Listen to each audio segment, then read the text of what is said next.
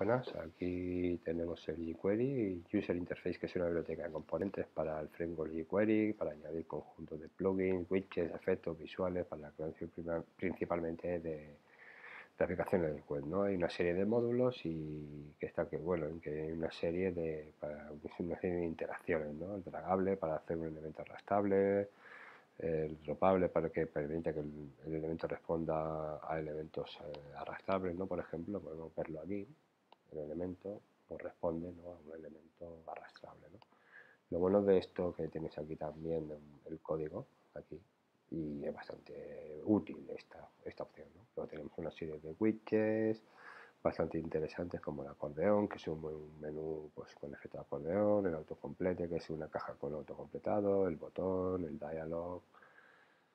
eh, que son ventanas con contenido y bueno,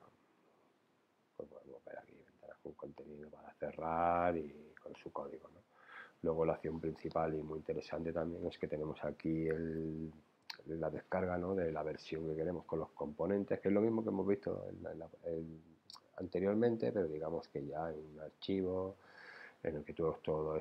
todo, todo, todo lo que tienes lo puedes brincar luego a la, de la aplicación o la web pues para darle el efecto que tú desees y, la verdad es que yo la veo una herramienta muy muy potente que nos da una versatilidad enorme.